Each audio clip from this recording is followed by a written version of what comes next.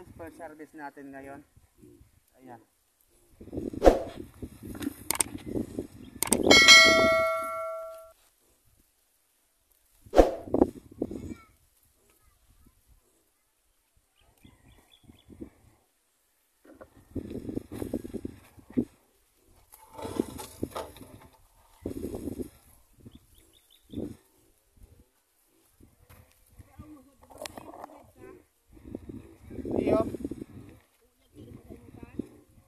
Pwede ba ga?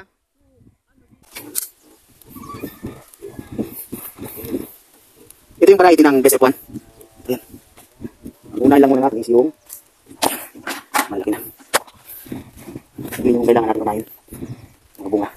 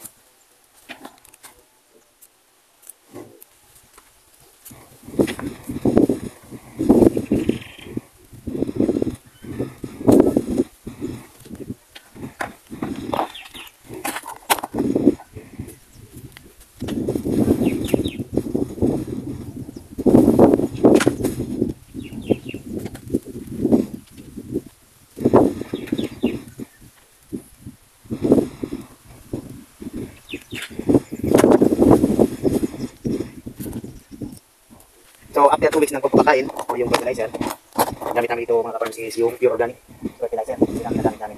Kasi panahon na yun, is mahal yung abono. Pwede naman tayo gumawa o gumamit ng dati na rin pamamaraan o yung pure organic or organic yung pamamaraan. So, mapal na 2,000 plus yung isang sako ng abono. Hindi lang yung ma-applyan mo ng production nila. So, mas maganda yung organic o yung safe na sila. At saka walang synthetic o hindi ka synthetic yung na, o yung fertilizer na na na na sa ating mga halaman o mga gulay. So, pinakita yun ng mga farmers. Yan ang produktong pure organic. So, yan. Wala tayong gawin ng camera. Kung paano sampu or ba isang isang isang puno yung natin sa yan. Sampu na mga level 12. 13, 14,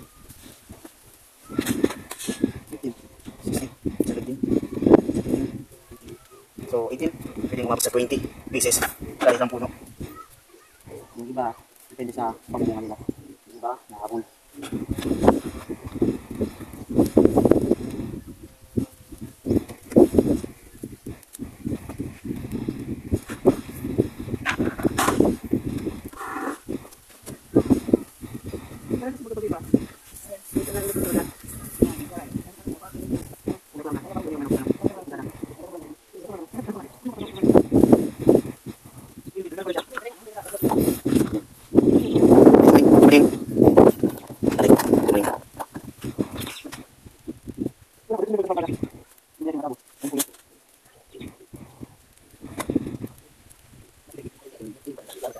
何つってんの?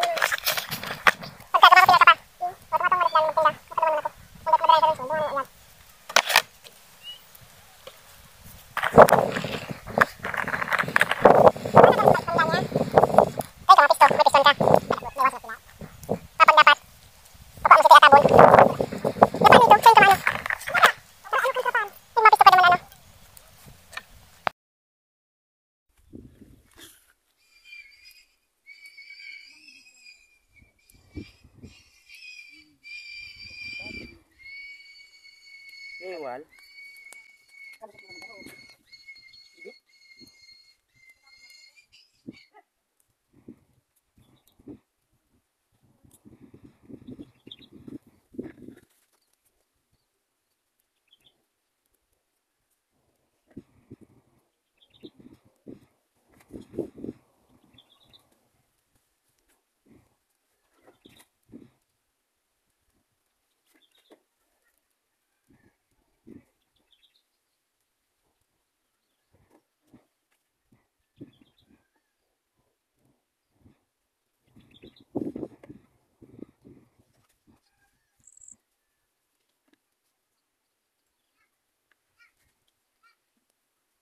Sudah, sudah, sudah.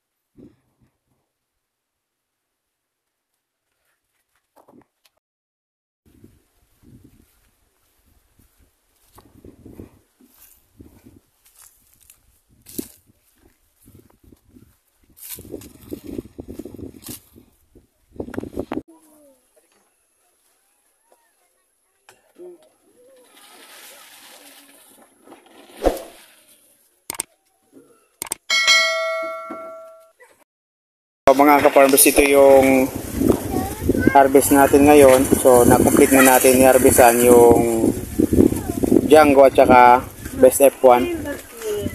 Ayan. So, estimated nito is mga, siguro mga 10 runner or ano, or 15 daw, 15. Pwedeng mag 12 or 15. First harvest natin is mga 12 or 13. So, ano pa lang yun. Okay. Oh. Yung, yung best F1, saka yung apat na slot na Django F1. So, mas marami-rami yung best F1 kasi mas marami yung ano natin, yung pinula o mas marami-rami yung puno niya. First harvest. Django versus best F1. So, available to ulit. Every Saturday or Sunday. Weekly harvest. So, sa mga gusto mo, dala mag-partner. Sa mga bulk buyer, eh, ano nyo lang, mag-direct message nyo lang po kayo.